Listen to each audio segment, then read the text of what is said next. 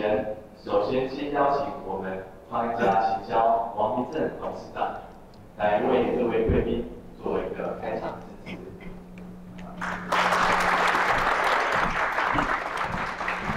好，现场各位贵宾，大家好朋友、好兄弟姐妹们，大家好。好，大家早安，谢谢谢谢，我是创业家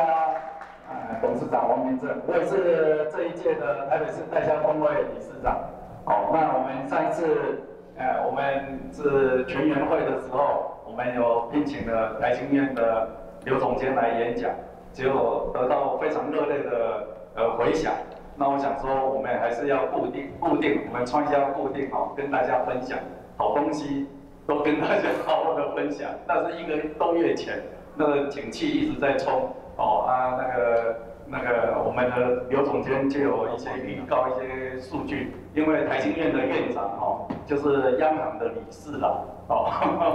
啊结果呢，我们定了定定了今天呢十月十七号，刚好九二零，我们这个。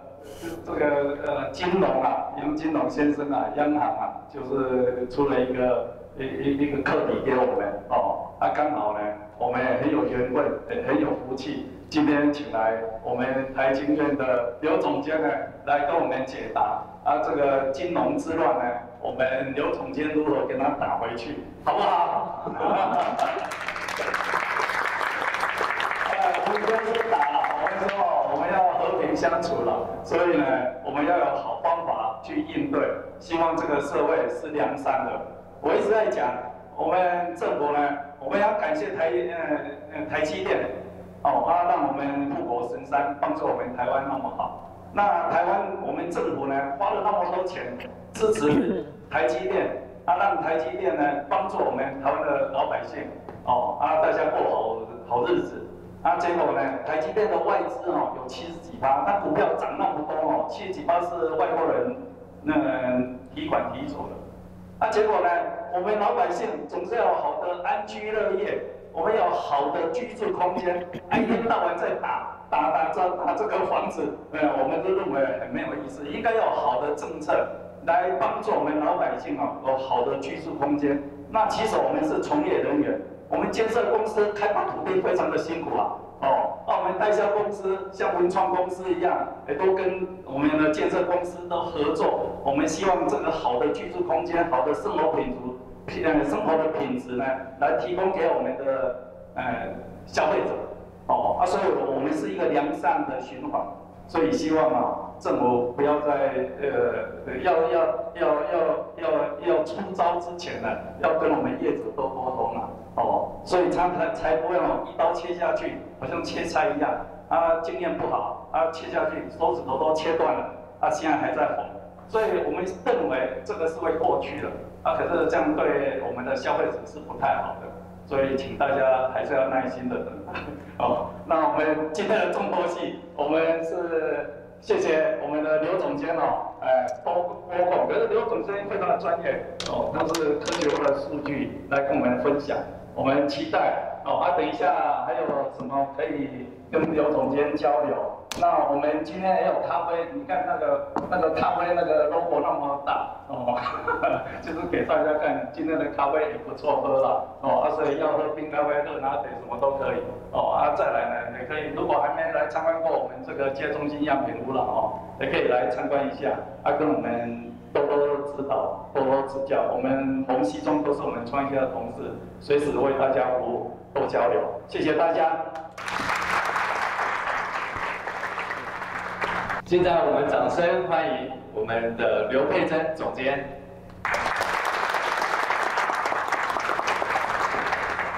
谢谢王董事长，还有在座的各位长官、各位先进，大家早安，大家好。好。很开心哦，真的非常感谢王董事长呢再次的一个邀请。那这个时间其实也是刚刚好，因为佩珍呢，其实除了研究不动产。啊，佩珍来研究半导体业，其实真的再过两个礼拜，佩珍又要到日本去演讲半导体哦，所以很开心今天还能够呃到这边来跟大家来分享呃我国不动产现在目前的一个景气的一个发展的状况。那同时也透过台经院我们最新的调查，我们来看一下对于明年呢展望还有哪一些比较重要的一些分析。好，那我想在还没有开始进入到我们今天的主题之前，我想就先让大家各位先进看一下，在过去呢这几年的一个时间。价量的一个走势的变化哦，那我们知道，那么其实在这个民国，呃，就是说在这个二零二零三年第四季，其实是国内的一个这个 SARS 的一个疫情哦，那么到了第四季完全的落幕之后，其实也就开始了这一波多头的景气的一个循环哦。那过去房地产市场的景气循环大概都是七年哦，那但是在这一次呢，却是超过了。呃，这个十年的时间，那么一直到二零一四年的呃这个上半年，那么刚刚开始就是在财政税呃财政部的一个房地合一税的一个讨论，那么所以在房市开始有一些下修，那么一直呢到二零二六年、二零一六年，那包括了就是在呃房屋税，还有在这个地价税等个两个持有税的一个双涨效应。所以我们可以看到，在当时二零一六年的这个价、这个量的部分呢，是来到史上的新低，二十四点五三万件哦。那所以在这个部分看到这个价格也是稍微有一点修正哦。不过这个其实跟过往我们说房价的一个这个修正，大概都要达到三成以上哦，才是比较有感。其实已经啊没有修正到那么大。那么后来也看到，其实在这一波下滑的这个时间点，也并没有太长。很快的，后来又随着就是台商的这个陆续的回台，那么以及在这个疫情之后，那疫情之这个发生的一个期间，那当然这个宽松的一个货币政策也就持续的后续带动了整个房市的价量的一个上涨哦。那我们特别看到就是说，去年虽然在这个二零二三年的量能呢是有稍微一点萎缩哦，大概是在三十点九七万件。不过我们看到这个全台的一个价格哦，依旧还是在往上的。那我们来预测一下，其实在今年度呢，其实一到九月份六都的建物买卖转件数，它的一个年增率，现在目前大概是在二十四点九四 percent。即便今年的第四季，那么应该是年增率是会往下的，没有错。但是全年应该预测还是可以达到在一成左右啊，就是这个高个位数到一成左右的一个增长，也就是说达到这个超过三十三万件应该是没有问题的哦。那价格的部分呢？呃，当然，今年其实，在年底前，即便就是说市场有降温，但是也不用期待哦，价格会有下跌。所以我们可以看到，其实如果从这个呃国泰的房地产指数，其实到今年的第二季，全台的一个这个可能的一个成交价，还是来到了五十三点零五万，等于说，在今年其实还是一个价量齐扬的走势，只不过在今年的交易的状况是前高后低啊。这样的一个局面，好，那先跟大家来大概分享一下。那今天佩珍会跟大家分享三个主题，第一个当然还是来看一下我们现在面对的总体的经营环境，好，特别是在政策面，其实真的是比较趋于复杂。那第二块呢，我们来看一下景气的部分，除了住宅，我们当然也要看一下在商用不动产的部分，都提出台经院第一手的观察。那第三个部分呢，就是我们的景气的变化。那么当然也提出台经院独家的观点。好，首先在第一个部分呢，我们来谈一下我们的总体现在这个房地产所面临的一个经营环境的一个情势哦。那从我们的一个 GDP 的表现上，去年当然是来到了这个比较新的低点，一点三一 percent。那今年度呢？如果以这个足迹总处的目前最新的预测来说，大概是在二点九零 percent 哦。那么啊，在在三点九零 percent。那当然，佩珍也参加了在这个主计总处，我们在呃八月份，我们大概有这个针对几个这个智库哦，我们都有。呃，对于这个主计总处有做一些建议，大概明年的这个区间会是落在哪里哦？然后后来主计总处发布，明年大概是在三点二六个 percent 哦，所以大概会较今年是稍微有一点趋缓，不过依旧还是在三个 percent 以上的一个水准。至于在 CPI 的部分，呃，到今年其实是连续三年哦，台湾的。这个 CPI 都还是维持在两个 percent 以上。那么目前央行也其实在主计总处可以都预测今年大概在两个 percent 以上，那还是很确立的哦。那特别是在主计总处也预测今年的 CPI 应该会达到二点一五 percent 左右。所以如果以杨总裁所说，未来如果要降息，其实要达到 CPI 一点五 percent 以下哦，这个其实当然就。比较这个预测了，短期之内大概央行哦，呃，在台湾的部分比较不会跟随这一次美国联准会的一个下降哦，所以短期之内我们的这个房贷利率应该还是会持续的处于在高点的部分。好，那当然，接下来我们就是看到这个今年的央行的走势，除了在三月份逆势的往上半码之后，那我相信到年底之前，不管联准会啊，可能还有两码的一个降息，就说今年总共可能会有四码的降息。不过这个对于台湾来说，因为现在呢。各国的考量已经不尽相同了。台湾目前呢，还是比较考量是在这个 CPI 它的一个变数，特别是在电价的十月份的一些调整。所以短期之内，在台美的这个利率啊，目前的走向事实上是有一点分歧的。所以短期之内，其实我们的呃台经院的院长也已经预告，大概这个年底前哦，央行是不会有对利率有任何的动作了哦。那另外再提到，就是在半导体业的部分，等会我们也会看到这个呃台积电哦，真的是全村的希望哦。那目前呢，确实台积电也呃除了带动了国内。包括了这个是 AI 当中的重中之重以外，它当然对于房市也带来了外溢的一个效应哦。等会我们也会来看。那另外就是在政策，大家当然会比较关心，在这次央行第七次的选择性的信用管制，短期内到底对我们啊现在还有在第四季的一个交易会带来什么样的变化？那等会也会跟大家来做一个说明哦。那另外就是从去年八月份选前开始，那么一路到今年的六月。份非常这个活络的新青安的部分，那在下半年之后，因为财政部也开始介入了一些管制哦，那虽然查出不法的部分，其实还是不到这个四个 percent 哦，但是确实呢，现在的市场的氛围也让新青安现在申请的呃这个件数还有金额，确实也已经出现了趋缓了哈。好，那央行我觉得它其实呃看到了三个指标，目前还是在高档。那八月份的部分来看，不动产的贷款的集中度依旧还是在三十呃七个 percent 点啊，三十七点六 percent 哦，那大概距离它的这个高峰哦，三十七点九 percent 还是已经相去不远了。那另外在不动产呢，贷款占放款的平均的一个比率哦，那么各家大概平均在八月份还是有达到了二十六点。这个四七 percent，当然今天大家也看到在报纸当中，在这个关谷的部分，甚至还是有达到将近二十八 percent。那这个临界点其实已经让这个央行呢非常的一个紧张哦。那另外还有国营的这个房屋的一个贷款余额，其实到八月份是来到了十点六九兆，还在持续的一个上升，而且年增率也是超过了十一个 percent 哦。所以在这个部分。央行其实总裁呢，其实，在上次我们在院内会议的时候，我们院长也有透露，其实总裁看到一些数据，有一些是我们没有办法看到的哦，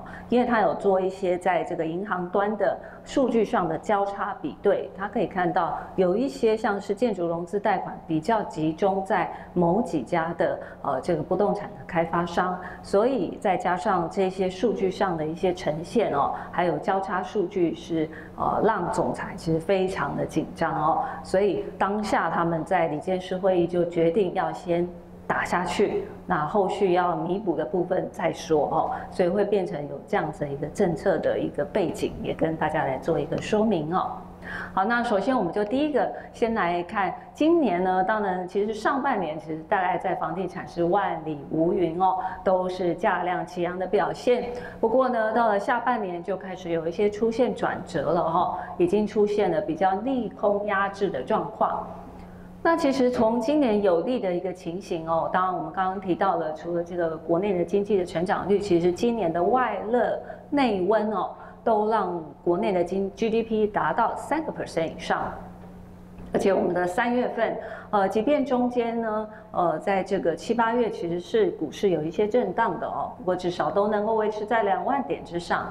那另外，整个台积电在整个西部干线哦，从竹科一路到屏东地区哦，当然现在这个呃持续的在加码先进制程，还有在 CoWAS 方面的一个产能的建制哦，确实对于带动区域的房市的行情跟工业的地产都是有所益助的。那么同时八月份也开始进。这个对于就是说台商回台哦，五年的解禁时间已经开始了，每年呢会有多四百多亿的资金水准。不过我们研判在这一大块的资金的规模还是会进入商用不动产市场，还是机会是比较大的哦。那另外通膨的一个因素未除，其实民众呢。国人呢，其实还是比较喜欢投资房地产，这个其实是对国内房地产是非常有利的一个因素哦。好，那另外就是青年安心成家方案，以及今年的呃四月三号的花莲的强震，又再次引发大家对于都更围老的一个重视程度哦，这个算是比较有利的哦。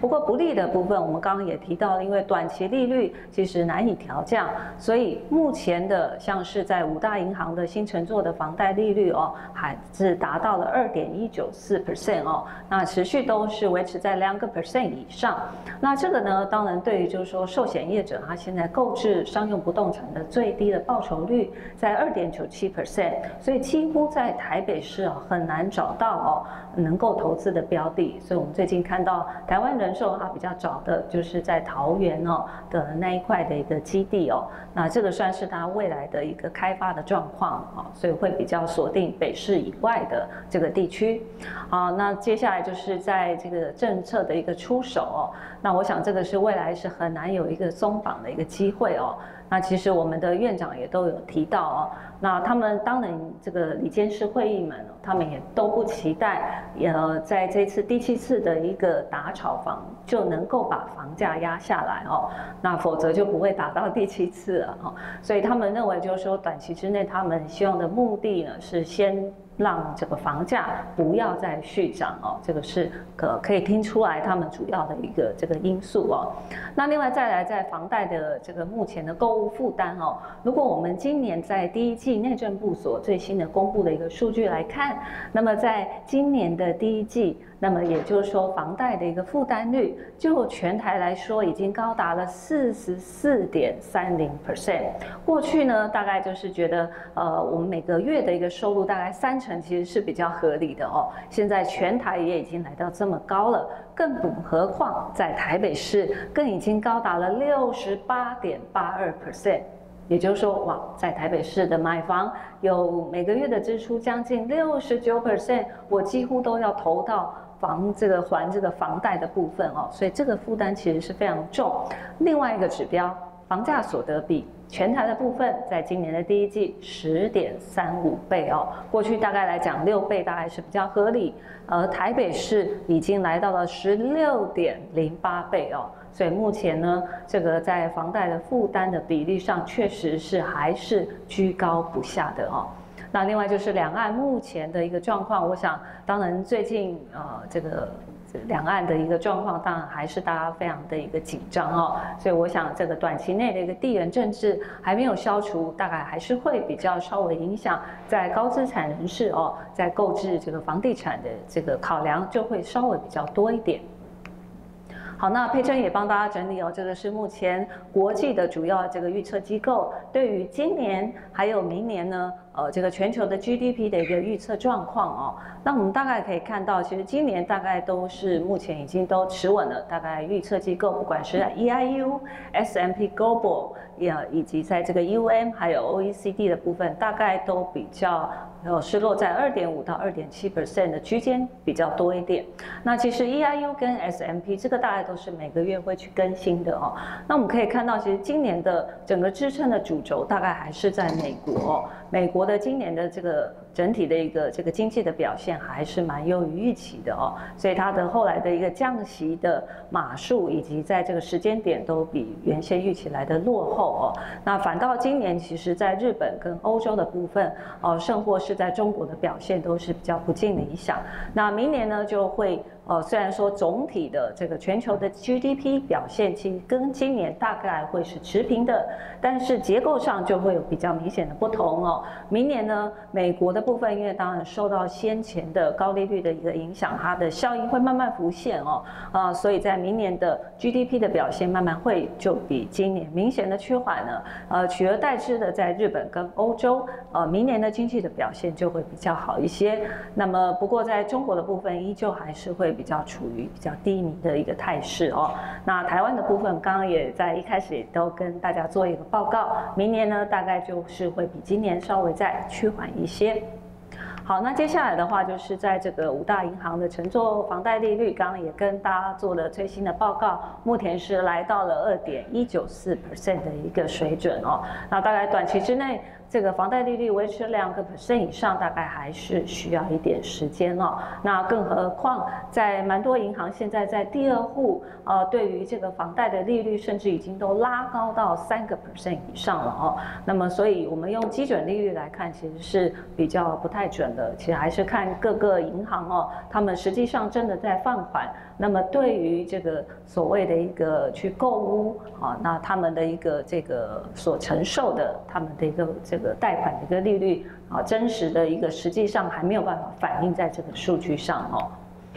好，那接下来的话，我们就来看在五大这个行库哦，新清安的它占的整个总的新增房贷的比重哦。我们说它其实是去年八月份开始的，那一开始热度还没有那么高哈，所以我们可以看到，其实是从九月份，去年九月份后来就开始往上冲，那么一路呢，其实都达到了占整个总的这个五大行库的放款都在三成以上哦，那甚至到今年的五月份，那时候还非常热哦，大概已经超过了这个四成了，来到了四十点六 percent，那这个。当然也这个造成了这个政府的一个关切了，所以之后呢，当然我相信在六月份之后，一直到目前为止，这个比例上大概一定会是从高档慢慢的呃来往下滑。那所以政府当然也后续这个下半段呢，就提供给各位参考。就是目前政府对于新青安当然有一些比较严格的一些管控啊，以及在一些优惠的一个措施。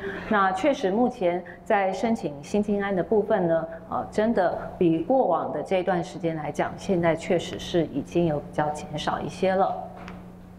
好，那这次我们来提到这次的呃央行理监事的一个重点哦。那其实，在还没有这个李监事之前呢，十九号之前呢，很多的媒体一直采访哦，呃，究竟会不会？那我就一直跟他说一定会哈。那只是说方向上呢，这个都是跌跌破大家这个房地产界的啊这个眼镜哦，因为没有想到这一次央行的出手会这么重，这个真的是我没有办法想到的哈。因为他这一次呢，可以说是堪称以来范围最广、项目最多、力道最强的哦。那甚至当时也大家有讨论，就是说，呃，自然人名下的第一户购屋的部分呢，那么是没有宽限期的哦。那尽管当然最近其实央行后续做了一些弥补的一个政策哦，不过大家这个市场界还是觉得说它放松的这个比例还是比较小一点哦。所以我认为说大方向的这个打炒房的政策，其实对房地产负面的一个影响哦，目前我们的看法还是没有变。它还是会造成短期的一个量缩哦，所以并不会因为它有松绑的一个状况，那么而有改变这样的一个趋势哦。那我们来看到它的一个影响，其实我们从最近的这个中介业者，七月、八月、九月已经连续三个月。呃，月跟月的这个交易量的比较都是呈现下滑，已经就可以看到这个量呢，已经慢慢有萎缩。那主要是七月、八月央行是这个减降令哦，那九月份正式回归到比较正轨的这个部分，那回到这个央行的第七次的选择性的信用管制哦，所以它对于新城屋呃。以及即将交屋的这个预售屋，还有在成屋的部分这一块呢是比较首当其冲的哦。那当然，对于新青安现金族，那么或者是说呃，针对这个民众呢，他们如果有自己就是拿出现金呢这个部分，或者是在都更跟围绕这个部分，当然影响就比较小一点。那如果是以业者的部分来分的话，主要中介业者。那么以及在这个相关的中小型的不动产开发业者这一块，我觉得它的影响性是会比较大一点的哈。那这个部分都造成了今年的第四季已经都确定哦是呈现降温的一个态势。不过降温的态势，我们还是要呃稍微的再做一个这个解释哦，就是说我们认为量能是会萎缩的，但是很多媒体都会问。价格会不会下跌？哦，很多这个买方都在期待这个下跌的一个状况，他们就又要抢进哦。当然，我们就回答他们说，其实短期之内房价要下跌可能性还是不高的哦。为什么？第一个，这个卖方在过去一段时间其实也有累积一段的一个获利，那么认为现阶段还没有。必要在初期的部分政策的初期就做一个抛售的状况。第二个部分还是来自于成本面的支撑，一方面是过去呢开发商他们在土地的一个购买成本相对其实就是比较高，那另一方面呢就是在于现在的建材成本，像钢铁的部分，呃近期又超稍的开始往上了，那更何况缺工的问题一直没有解决，再加上碳费的部分又即将开征哦。那么虽然说环境部它评估对于房价的影响是零点一到零点二 percent，不过我想在座的各位的房地产界绝对不会认同这样零点一到零点二 percent 的一个影响啊，所以我觉得这个成本面的一个支撑啊，还是会对于短期内的一个房价，我认为它还是会持续呈现在高档震荡盘整的格局啊，是比较多的啊。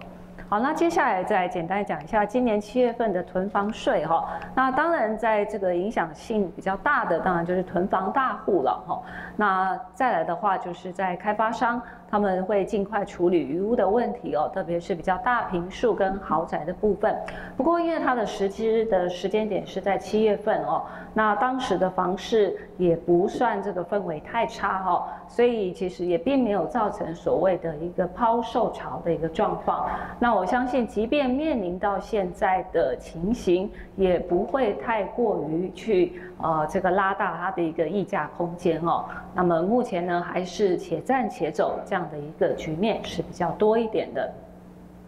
好，那接下来就是我们刚刚谈的这个碳费的一个征收了哦。那么第五次的这个审议委员会啊，终于决定了哈。那么拍板定案，一般的这个费率大概就是三百元哈。就是说，如果这个每年排放量超过二点五万这个二点五万公吨的哦，就会课征这样的一个部分。那费率 A、费率 B 哦，比较简。单的就可以降到五十跟一百元这样的一个价位，那这个当然要符合它所谓的呃这个碳排的一个减量的一个比率，才有办法拿到这个比较优惠的一个这个所谓碳费的一个费率的价格哦。那总计来说，在这次的一个征收来讲，它的影响的家数大概会是在两百八十家左右，那影响的工厂大概是五百一十家的一个部分哦。那因因为在过去，呃，碳的一个排放情况，当然是以钢铁业。还有在基础的这个基本的化学跟其他的化学工业，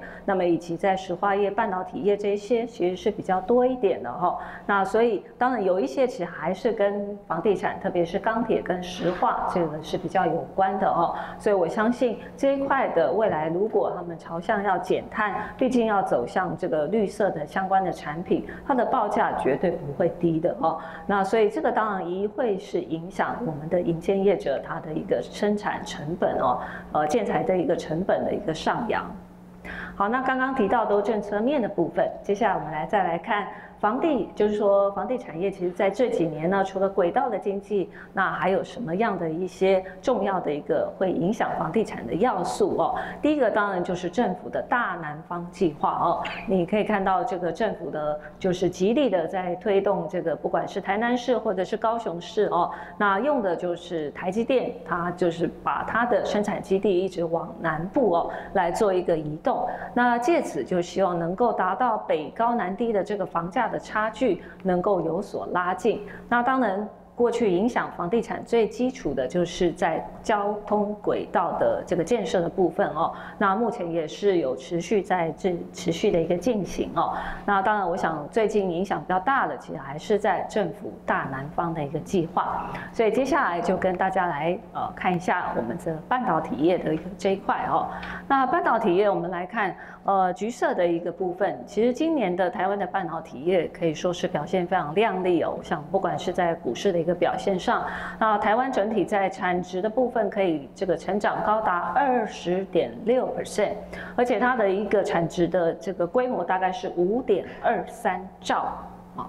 那这个是创下史上的一个新高，这个当然跟我们的传统产业钢铁、石化、纺织，还有在这个机械设备业就有造成反差的一个状况哦。也就是说，跟 AI 相关的半导体业的，它其实好的层面就非常多，但是传产的部分好的情况就非常少了哦。那大家当然特别关心今年方这个所谓这个半导体业推动的动能，就是来自于红色的这一块台积电哦。今天下午要举办法。说，那原先上次的合并营收大概预测今年呢，应该是在二十四到二十六 percent。那么我们觉得它二十六 percent 应该是可望达标的。那再以现在它今年第四季的一个业绩来看，呃，今年达到三十个 percent 的增长应该不是问题。所以这个下午应该是渴望试出，在今年第四季是有一个好的一个消息哦。所以我们来看，在今年的整个半导体业，其实就是台湾的一个表现，还是远高于全球的一个状况。好，那当然，接下来我们再来看一下这次当然推动这次半导体业呢，主要就是在这个 AI 的一个热潮哦。那台湾的一个半导体的供应链，我想就呃把这个 AI 相关的部分整理给大家来做一个参考。这个大家其实在呃这个资本市场当中都有非常清楚哦，大概哪一些受惠的一个族群哦。那整体来看。其实台湾的半导体业也借由这一次的 AI 的一个世代哦，那等于说我们的等于说台积电它在先进制程现在已经是所向无敌了，在包括了先进封测的部分又是一个领先的角色，所以台湾整体来来说我们已经处于在 AI 发展制高点的一个地位，所以它不但对于我们的产业地位的提升有关，而且也跟今年的外贸的表现也都是有一个推升的效果，所以它堪称是。辉达以外，另外一个 AI 商机当中的最大的一个赢家。好，所以我们从这个科学园区跟台积电，我们就可以看到它怎么样去紧密的结合我们的房地产。业哦，我们从这个竹科、中科、南科哦，你可以看到，其实，在科学园区当中有非常多的一个行业别哦，但是你可以看到最左边的机体电路，它的比重就是远远的高于其他的行业哦。总的来看。大概有将近七十八点零八 percent 哦，遥遥领先的其他的行业别，更不要说台积电光一家公司占这三大的科学园区就占了四成哦，所以它事实上是具有举足轻重的地位。那么再从三大的科学园区再把它做一个拆分的话，你可以看到，现在过去来讲，我们都觉得是竹科哦，是台湾半导体的生产重镇，但是这个。这个趋势早就已经改变了哦，现在呢是男科，而且比重之高，你可以看到达到四十五点四六 percent 哦。那其实比这个南科呃这个竹科的三十点六五 percent 高出的非常多。那另外就是位居末位的是在中科的部分，所以这个部分就可以足以解释为什么在近期台南市、高雄市，不管是在房价或者是在交易量，都能够表现相对突出的主要的一个原因了。所以我们看到政府就不断的在推进南台湾的半导体的 S 廊道哦，从南科的这一块到高雄的地区，还有在南子的部分哦，我们看到最近呃就是台积电，其实在这个高雄就是呃中游的旧游的厂区，它其实是有五座的。可以容纳五座的一个晶圆厂，那 P one、P two、P three 已经就是未来的两纳米的生产的重镇。那 P 四、P 五原先是预计二零二八年呢，大概才会开始这个进入动工，呃，才会开始进入量产。不过最近呢，当然说陈其迈市长也已经证实，台积电已经要求在 P 四、P 五要这个加紧速度哦，所以可以显然可以看到，它其实对于在高雄当这个目前的一个。这个房市的一个发展，又会整个往前推进的一个速度又会更快了哈。好，这个就是目前在各个高雄地区所推动的一个相关政策，我想就提供给各位先进来做一个参考。好，那这个真的是台积电哦，所到之处哦，房价都是。啊，这个所谓的一个保证哦，不管是在日本的一个熊本，还是我们台湾，不管是在这个宝山园区、桥头科学园区，还有在台南的总部哦，我们看到全台八个地区三年之间的房价的涨幅呢，都是超过四成哦。所以呢，呃，这个真的是台湾的另类的一个奇迹哦。它对于房地产业者也很好，就是多了另外一项呃非常重要的一个推动的一个要素。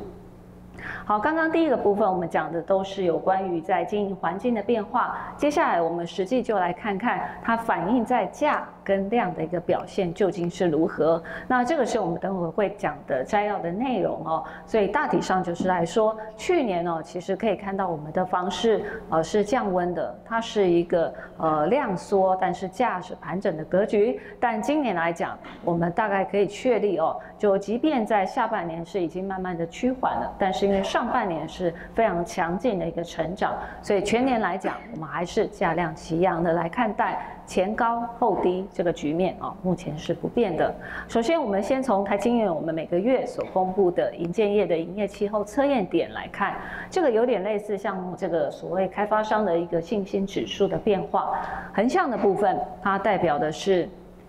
呃，业者他对于当月的看法。那越往右边，当然看法就越趋于这个乐观。那这个纵向的部分，它代表的是对未来半年呢这个景气的一个预期。越往上方，当然看法就越趋于这个比较呃看好一些。那所以我们就可以切成四个相面哦，呃面相。那第一个是看法乐观，信心下滑。看法悲观跟信心回升哦，那我们可以看到，其实如果从这个轴线看到，在今年的呃这个六月份就开始往下折了哈。虽然说它还是在看法乐观，但是呢，特别是在八月份往下的一个这个幅度又更大。那我们预计九月、十月还是会持续往下哦，甚至不排除可能会掉落到信心回升或者是看法悲观的一个象限当中。那这也比较能够呃反映短期之内在这个房市氛围上，确实是会产生一些变化哦。这个是比较及时的，我们台经院所做的一个调查，提供给大家来做一个参考。好，那如果从交易量的一个部分来看，呃，刚刚也跟大家做一个报告了。现在我们一到九月份最新的一个统计哦，全台还是有二十四点九四 percent 的一个增长，一到九月份。而且我们可以看到哦，成长幅度最高的就是我们刚刚一直在提的，政府一直在推出的是在大南方计划的高雄市跟台南市哦，增幅来讲，真的还是明显是比较增多的哦。好，那另外就价格的部分的话，我想第一个我们从上半段的新城屋跟预售屋啊，这个就借用一下我们的国泰呃不动产指这个季报的部分来看。那目前的话，到今年的上半年，其实这个价量还是呈现齐扬的一个态势哦。不过第三季预测呃的这个状况，大概价格会是比较在高档，但是量能可能就会稍微有一点萎缩。好，下半段的部分，这个是呃代表中古屋的新房价指数。哦，那我们看到，其实在今年的第二季，你可以看到，不管是在季增率、年增率，都是同步的呈现上扬的态势哦。那当然，第二季的一个市况，目前还是反映到当时的一个情形，还是非常好的哦。那另外呢，我再把这个今年第二季的一个状况，我想主要是让大家看一下绝对值的一个部分哈。那全台的部分，其实到今年的第二季每平的一个售价哦，大概是在五十三点零三万元哦这样的一个价位哦，其实真的是呃这段时间来讲。回首来看哦，真的是已经提升的非常多了。那台北市目前还是最高的，一百一十二点五八万哦。那仅次于这个台北市的，就是在这个新北市六十一点五一万元哦。那特别要看到的是，台中市它也已经超越了新竹县市了哦。那它是已经来到了四十七点三八万元哦。那即便是位居全台之末的。呃，高雄市其实也已经来到了三十三点六零万元这样的一个价位。我想提供这个绝对的一个数据，也让大家来做一个参考。好，那当然佩珍也呃这个整理了一下我们这个双北市哦，目前最新在九月份新城屋跟预售屋的一个价格的一个水准哦。我们先从上半段台北市的一个这个部分，十二个行政区，你可以看到只剩下四个。行政区还没有站上百万的一个价位，包括了是在万华地区，那么以及在北投地区、内湖地区跟文山地区哦。那当然，目前最高的还是在。大安区以及在信义区哦，大概都是在不相上下，每平都是来到了一百五十一万元这样的一个价位哦。那下半段我们来看新北市的部分哦。那新北市目前最高的当然是在永和市哦，在每平是在七十八万哦。不过它距离这个呃这个台北市最末位呃这个万华区其实已经有这个。缩短它的一个距离的哦，那特别我们再看一下最近的这个三重市它的表现哦，其实也是相当的不错，非常的突出哦，每平也已经来到六十七点八二万元这样的一个价位。那整个新北市目前最低的大概就是在金山区哦，大概是在每平二十七点七三万元。那当然我们也会特别关注哦，过去一直比较低迷的淡水区，呃，其实也是慢慢的金金涨哦，它现在已经也来到了每平三十八点七二万元这样的一个价位。好，那接下来我们再来看预售屋，其实今年一到七月份哦。呃，它的一个表现上哦，其实整体来看，我们这个是上面的部分是加总的状况。整年哦，其实在一到七月份的这个不管是件数或它的一个成交量哦，这个不规模的部分，其实还是有大幅的一个增长。可是如果拆解成每个月份，你就可以发现，因为七月份呢，央行的呃这个减降令已经开始寄出了哦，所以当然对预售屋市场开始呢就有不一样的线条了。前面呢都是。比较往上的，但是到了七月份就开始建数还有规模这个金额都已经开始慢慢的往下哈，已经出现这样子的一个变化。好，以上呢都是在住宅市场的部分，接下来我们就很快的来看一下商用不动产目前的一个这个概况哦。好，我们先来看这个办公室的租赁市场。那其实大家最近如果有在做这个办公室租赁市场哦，其实盖好以后要去找新的一个客户，其实蛮多人都会呃去选择在科技业者的部分。那最主要就是说我们要去拆解过去在这段时间哦，会去承租办公室租赁市场。那主要呢就是包括了像是其他的，像是游戏啦、零售批发、再生能源。那另外就是在科技跟通讯业哦这块的比例也是很高的哦。所以为什么那么多的业者希望能够找到外资呢？或者是在国内科技的这些大厂能够进驻哦？那当然，如果把它换算成面积，还是以金融保险业比较大哦。那最主要是金融保险业还是基于这个总部大楼的一个需求，要求的平数还是会比这个科技。的部分还要拉大一点哦。不过就件数上可以看到，其实现在在科技业者其实也是慢慢的持续在往上哦。好，那科技业者呢，目前在承租这个办公室大楼，其实当然最主要就是他们的概念上，哦，他们要屋顶比较新，而且设备要好的。最主要科技业有几个比较重要的考量，第一个 ESG，当然现在是他们的显学，还有现在要追逐近零排放，从这个所谓建筑物来着手是最快的啊。那另外就是他们需要比较好的办公室的这个设备，来又留住优秀的一些人才。哦。所以我觉得对于科技业者，他们现在就会比较追求的是前瞻性的这些办公大楼了，希望能够受到这个投资者他们还有的一个青睐。好，那我们来看今年的第三季最新的办公室的租赁市场哦。我们可以先从租金的一个水准变化来看，整个台北市目前的一个状况，在今年的第三季哦，大概跟第二季比，大概还是比较持平哦，啊，还是目前维持在相对的一个高档哦。那目前这个在这个新义计划区，目前还是最高的哦，每平每个月大概是可以承租到三千七百零八元哦这样的一个价位。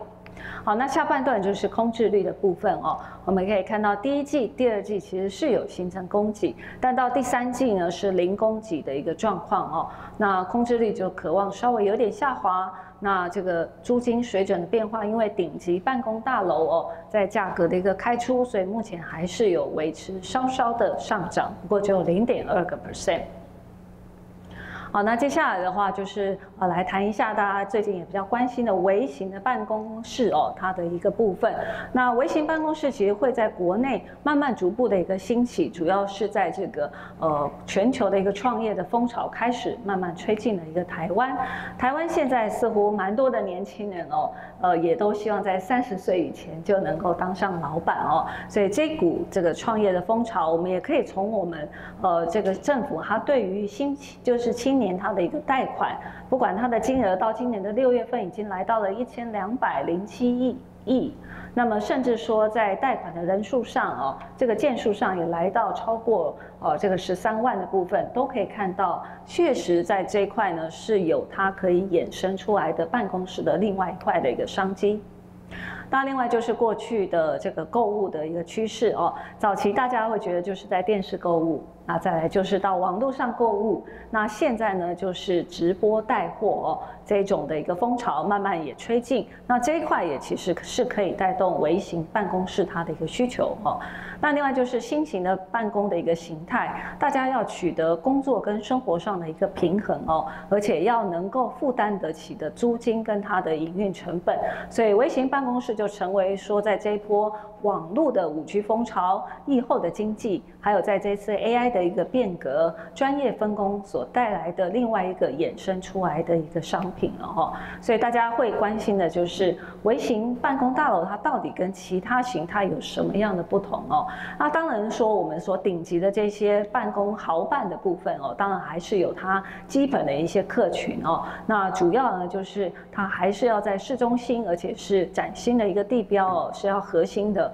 那这个对于像是总部的一些大楼，一定是要追求。这个所谓呃有顶级办公大楼这样的一个这个族群哦。那第二块的微型商办呢，它就比较不同了哦。它因为它跟共享办公室又稍微有一些差异。共享办公室它比较是五人以下的部分哦，特别是针对一到三人这一块其实是比较多。那这个共享办公室比较唯一诟病的就是说它比较缺乏隐秘性这样的一个问题哦。那所以呢，在这个微型商办就相对在这这个空间上是有它的一个发展的一个部分哦。也就是说微型商办它比较着重的是二十，大概到这个四十平甚至四十五平的这一块，那比较着重的是五到十人的这种新创业的一个公司哦，那所以在这一块相对就有它比较可以呃创造的一个族群的一个部分。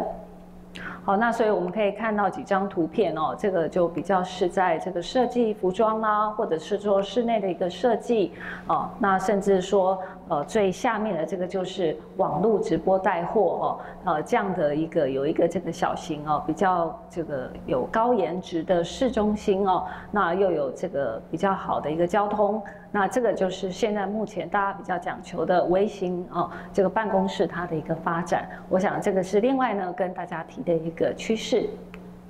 好，那接下来的话，我们再来看商圈呢比较重要的一个店面的一个市场哦。好，那商圈的部分，我们主要就是来看现在今年的第三季哦。那其实今天大家这个报纸上也看到了哦。国人来这个就是说外国人来台今年的一个数据，其实到八月份哦，目前呢还是只有四百九十六万，这个年增率大概只有三十 percent 哦。其实距离原先年初哦，就说政府它的一千两百万。后来又下修到一千万，到现在呢，这个最新的交通部长他就是宣布今年可能只有七百五十万哦这样的一个部分，所以可能它就是有一些影响了。所以这个部分呢，当然就是说上半年我们可以看到这个所谓的一个比较重要的。这个店面商圈呢，它其实空置率慢慢都是有一些在往下哦，但是之后的话，慢慢的它的这个力道上就会有一点减弱。那最主要就是说，来台的人数其实稍微已经开始比较不如预期了。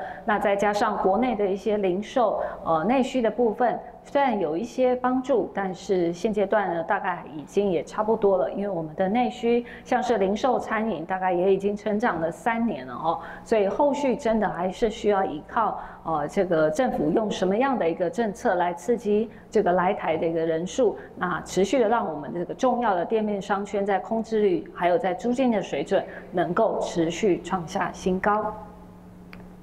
好，接下来的话，我们就先来看商用不动产的部分啊。这个是在第一季的表现，我们可以看到整个在去年的部分的表现呢，其实是去年因为有星光 REITs 一号的部分，所以才能够让它稍微有一点成长哦。所以其实如果扣掉那个案件，大概去年的商用不动产啊，这个发展大家都知道，其实并不是那么样的理想哈。但今年的第一季就冲出了非常好的一个表现哦。我们可以看到。最主要的买的部分就是在这个商用，这个是在办公大楼的部分，而且主要是在开发商的部分呢来进行购买哦。这个是今年第一季已经有不错的表现。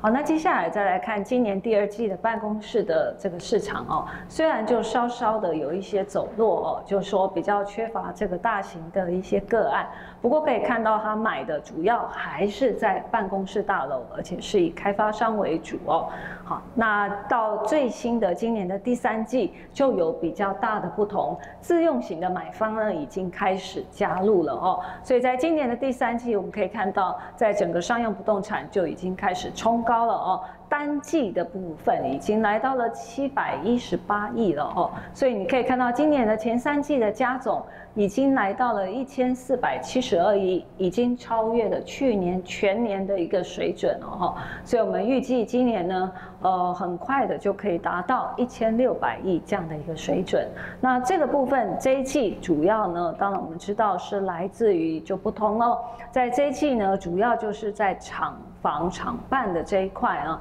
而且是在科技业者来带动。当然，我们知道今年在第三季有两笔非常重要的厂房的交易啊，当然就是台积电买下群创，还有在美光买下友达的部分哦。那加总的这两块呢？的这个这个交易量啊，交易的一个金额就已经超过了两这个两百多亿哦，所以在这一块当然就持续的冲高哦。那我想未来的这个部分，其实很多科技业者已经还是蠢蠢欲动哦，所以我相信在短期之内，对于商用不动产、科技业自用买盘的这一块，还是会持续的释出。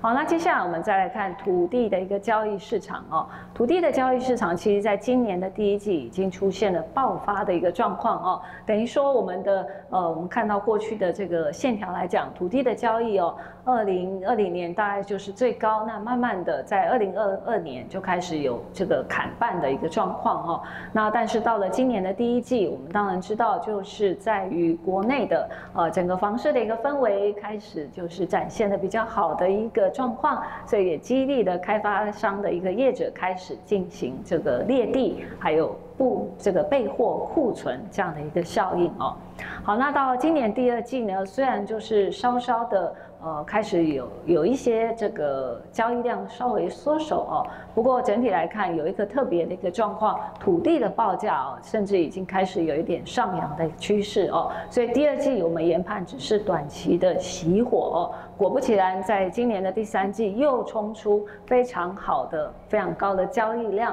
今年的第三季土地的交易竟然已经冲到一千一百一十七亿哦，所以这个是量是非常大的哦，所以整个的一个交易的一个个案，我想这个部分今年的整体的呃这个土地的一个交易应该可以超过五年线，就是两千三百五十七亿哦。现在今年的加总前三季就已经来到了两千一百四十四亿，所以今年呢就是绝对会比去年呢是一个这个一。倍以上的一个增长，所以目前是没有问题的。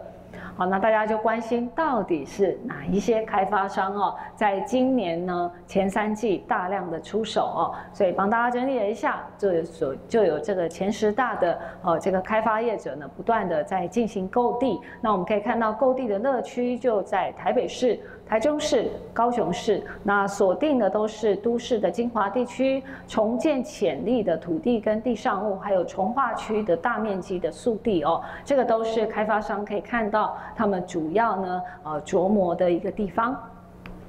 好，那接下来我们再来看工业土地的这一块哈。工业土地我们可以看到，在这个趋势上，二零二一、二零二二哦，因为台商回台呢，不断的一个进驻，还有搭配当时的这个整个半导体业不断的一个上扬哦，那所以在这个部分其实上是表现的非常好。那去年我们也知道外销非常的冷哈，那所以在去年的工业地产整个是往下的，但是我们可以看到今年呢前三季已经。这个达到了一千三百多亿哦，所以这个工业地产确实在今年的表现又非常好哦。那当然我们也知道，来自于在今年外销的表现，主要还是在科技业者这块的一个买方还是比较大的哦。那除了量的一个上升，价格也持续的一个上来了哦。我们可以看到这个主要的几个工业区哦，它的一个涨幅哦也都是蛮大的哈。那如果以北中南。部还有在东部的部分，当然目前涨的还是在中部跟南部哦，目前都有六点八到六点九 percent 的啊，今年上半年的一个年增率，我想这个都也充分表现了，其实在工业地产最近其实在自用买方哦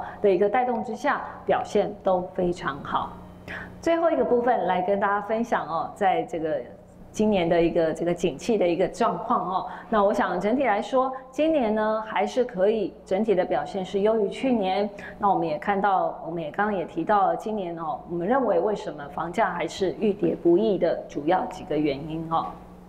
好，那这个是我们认为，就是说，今年如果就从各个我们刚刚会诊哦，我们每一个讲的一个这个族群来看，啊，就是有包括了住宅的部分。那住宅当然我们可以看到，这个最近还是要关心哦，这个央行的一些政策对这个住宅市场买方的承受的一个力道哦。好，那今年来讲，其实真的还是在低总价小平数，还有在总价这个一千到一千五百万两房的这个部分为主。不过呢，我觉得还是在于说，呃，不同就是说，建商他们在设计各项的一个产品，如果是比较偏中高平数，如果还有非常好的一个设计，我觉得还是有相当的呃这个就是说销售族群，它还是会偏偏好的哈。所以也不一定都是走这个中小平数，只是说就大。方向来讲，看起来在今年销售比较好的是在这一块。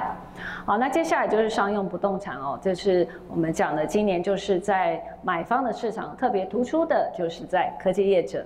好，那土地的交易市场前三季呢，大概冲出的都是开发商的部分。那虽然在第四季，当然开发商会稍微有一点减量哦，毕竟因为这个房市呃稍微景气上有一些变化。不过全年来说，表现依旧还是突出的哦。好，那接下来就是办公室跟这个租赁的租赁的店面的一个市场，也提供给大家做一个参考。好，那接下来呢，这个是台积院我们对于明年的景气的一个预测哈。那对于今年的一个看法，大概大致上九成以上都认为今年是比去年是看好的，我想这个就毋庸置疑。但对于明年的看法就属于比较分歧了哦。那不过这个是因为我们调查的期间还是在八月底之前哦。那相信八月份之后。呃，九月份开始又有非常大的一些变化哈，所以我相信可能应该在减少的部分，这个就会比较大一点哦。那事实上，我们也台积院，我们也有帮这个呃公股行库来做一些比较房价信心上的一个调查哦。那事实上也发现了最近看坏的比率有稍微比较看。高于看好的，呃，这个比较罕见的死亡交叉的一个状况哦。不过这个到底是不是短期的现象，还是说还是会维持一段时间？我觉得这个还是要稍微的观察一下，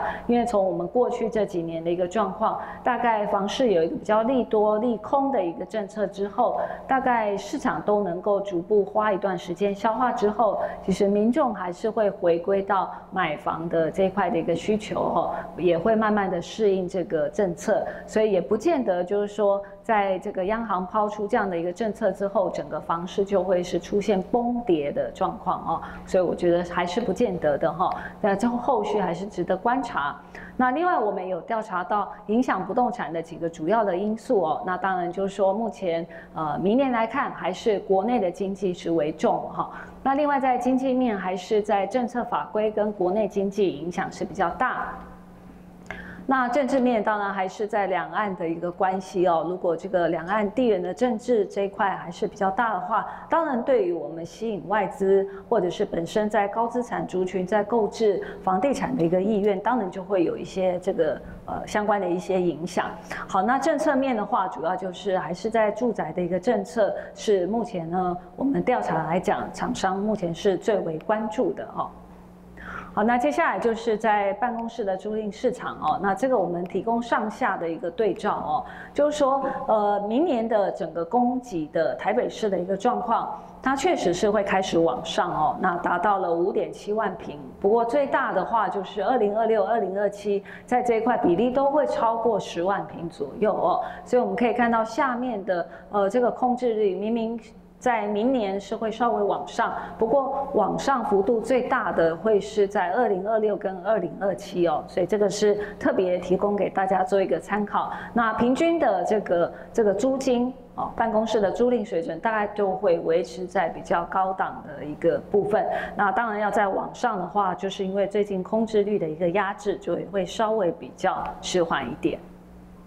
好，那这个是我帮大家整理哦，一直到二零二八年，目前在台北市最新的呃这个办公大楼会释出的一个部分啊，也随时都会做一个最新的一个调整哦，因为大家的这个完工的一个进度状况，可能都还是会有一些变化。那最后两页的话，还是提到一下大家关心的，呃，就是在这个绿建筑，还有在绿电二点零的部分。那其实从这张图可以看到，在我们台湾，其实在做这个绿建筑方面，其实都是呃这个部分其实速度是非常快的哦。所以我们可以看到，在调查的这些大楼数已经取得绿色建筑的这个部分是遥遥领先哦。所以在这个部分其实是没有太大的一个疑虑。那反倒是在绿电二点零的部分哦，其实现在没有规划的哦，或者是还不确定、还在评估当中的，其实现在这占的比例哦，还是真的比较大一点哦。所以这个是未来呢，大家可以呃努力的一个方向。好，以上呢就是今天佩珍的简报的一个内容，那希望能够对各位在座先进能够有所帮助。谢谢大家。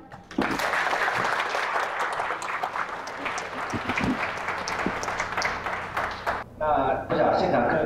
啊有什么那个问题想要那个请教的？那我们开放三个问题好了。好。哎，那不晓各位贵宾有没有什么问题要提要提的？哎，蒋经理。呃，这个总监你好，我是第四建设开发补习的游戏讲。那个刚刚听了总监很精辟的一些。见解跟分析啊，那可是说实在的，这个总监还是没有清楚的讲出来，就是说，我相信总监对这个不动产市场的研究非常透彻而且深入，还是想听听看你对未来的市场，你认为未来也许是明年第一季或第二季，有没有可能房价还是会有修正？那修正的比例大概会是多少？好好。好，谢谢协理哦。那我想在呃今年第四季，我们大概就是刚刚有提到定调上，就是在房价呢会是维持在高档震荡盘整。那我认为这个趋势大概会至少维持到明年的第一季。那当然半年之后，我们就必须要看后续当时的呃整个经济的一个变化，还有房市的一个调整的状况。那所以到明年第二季其实是会比较关键的一个时期。那即便房价有一些修正，其实我大概认为大概在五个 percent 以内，就是说比较是还是稍微比较无感哦，因为要大家比较有感，其实是要在十个 percent 以上哦，才会比较明显的能够感受到。那我认为在各方的一个因素的评估之下，短期内不会那么快，因为我们看到在过去这几年哦，确实可以看到在这个大炒房的一个相关政策其实都非常多。但是都真的没有让房价有非常明显的一个下跌哦，所以我认为大概短期这个今年的第四季到明年的第一季，那么确实还是能够维持在一定的一个水准。那之后如果真的有下跌，大概在五个 percent 左右。好，谢谢。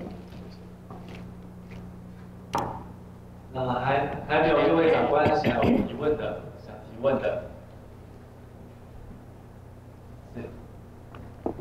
那个周总，哎，总监好，我是利利利呃利利集团地方开发，我姓周。因为我们那个在讲到这一次那个银行现代的部分，那银行法七十二之二，它是应该是排除都跟这些建案，可是我们央行总裁啊，这次从 A 等变成 B 加，是不是因为它资料引用有一点食言或者是错误？造成说好像是没有排除所谓的都跟的这些呃占有房贷的比例，而造成好像一个假象，说现在的银行好在七十二支已经到二十八趴，嗯，哎，是不是有这个现象？那 如果是的话，请那个你们这么呃精准的资料库，你们要提供好的资料给央行，否则他明年可能还是比价。好，谢谢。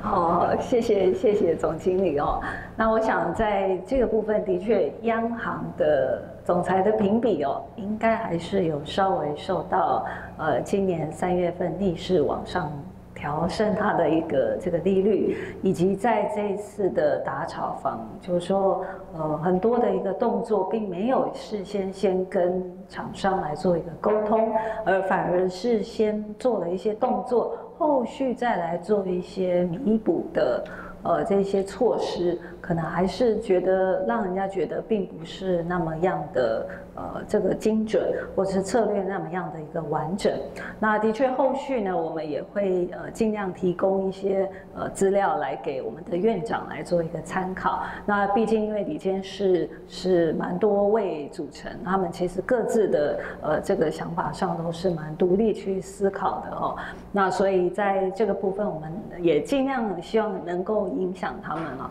那不过他们在。意识上就是比较对房地产这个态度上，哈，就是稍微并没有像半导体业来的这么样的友善啊。这个确实是从他们言论当中是可以理解到啊，他们觉得说高房价的一个问题哦，啊，会觉得是对民众来讲是一个比较大的负担。那甚至在这一次呃国庆的文稿当中，呃赖总统会特别提到。要去加速打厂房这件事，其实也是让让我让我蛮意外的哈。那所以在这一块，可能从政府到央行的一个态度上哦。我觉得是这个，可能还是要稍微在产业平衡上啊，我觉得是应该要手心手背都是漏了。半导体业当然也重要，可是房地产业其实也是攸关国内呃民生非常重要的一个行业，所以这个部分我们未来一定会呃持续不断的呃来这个，是是是，对，会希望来提供更正确的一个资讯给我们的长官。好，谢谢总经理，谢谢。呃，还有各位长官想要提最后一个问题吗？那没有的话，我们就请创家董事长王一正先生跟大家分享一下，补充一下。谢谢先生。我们非常的，我们再次谢谢一下我们的总监啊，呃，非常的专业。那我直接问一下，那下午。那个台积电要法说，那台积电股票还可以买吗？赶紧买。嗯，台积。金妹妹当公股票啦。好，那我跟大家分享哦，我我们创业家每每一周的案案量在市场上，哦啊，政府一打，确实房地产是急动，非常的恐怖的急动，哦啊，可是呢，还是非常的刚性需求。我们有几个案子还是消费者会会会会买单，买单的意思是哦，他认为要赔，可是我们提供数据给他看哦，你要赔应该是很困难，那只好你就不要买，啊不要买呢，等到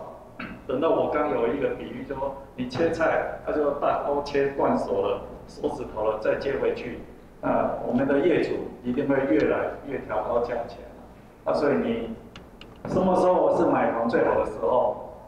就是政府打房的时候，是买房最好的时候。这个时候呢，我们的业主呢都是缩手的啦，都本来要调高价钱，哦，就啊嘛忍耐一下，等到市场好了再来调高了。啊，所以我们都跟消费者这样沟通说，哦，其实现在是买房最好的时候，等到呃手指头就就接回去了，哦，又又强健的时候。我们的业主的成本都蛮高的哦，都会越调越高啊，所以消费者当然目前很多人当然还是在观望啊，可是有些有些人也会也会相信，可是当然这个比例还不是很大啊。我有一个报告一个好消息，就是说哦，现在看房子还是蛮多的。刚开始九二零之后看房子很少哦，上个礼拜开始又蛮多在看，那这个是代表什么？代表这个鱼池里面的鱼还是很多。就是消费者呢，就好像我我们穿下来三十几年，疫情的时候，哦，SARS 的时候，啊，那个那那那个房地产很差劲的时候，可是发现很多人在看房子，可是他不买，啊，一说这个上个礼拜开始看房子的又开始多了，可是他不买，哦，买的人少，不是说不买，所以代表，哎，在假以时日啊，哦，应该还是可以稳健的成长。因为我们希望是善的循环，不希望说哦一下子让这个市场这么这样的一个呃不好吧哦。我们今天还是哎，请问大家还有什么要分享吗？呃，我们都是无私的分享嘛哦，大家很开心多交流哦啊，了解这个市场啊，确实哦，现在的变动太快了啊，所以半年后怎么样？其实刚总监也报告了，其实第二季应该会更。更一个关键啊，就是以我们个人来看，哦，台湾是一个好地方啊。除了两岸呃地缘性关系之后，哎，其实我感觉啊，政府那那个两岸在崩台，那那前天嘛，那结果我们股票股票还是在涨啊。我本来想说，那个 C N 还特别报道说，这次要特别注意哦，因为以前都有写呃几月几号在。军演嘛，我说呃，中国在军演，几月几号到几月几号？这一次只有写开始军演，没有结束。我想哇，这下差嘛，是不是要赶快飞啊？要赶快跑啊！啊，结果哎，股票怎么不跌啊？因为这种股票是比我们更厉害的，因为外资很多，他们的敏锐度非常的高的。我说股票不跌，啊，结果军演一天就结束了。啊，你认为台湾的房地产怎么会跌得下去？你说大家还是要住啊，哦，啊，台湾真的经济啊，哦，都越来越好，哦，啊，人民也非常好，交通也好，医疗也好，我多老朋好朋友啊，在国外都要回来台湾，呃，在这边养老。你看张忠谋把夏威夷的房子卖掉，夏威夷，呃，我小孩在那边念书，我也很清楚啊，好山好水好无聊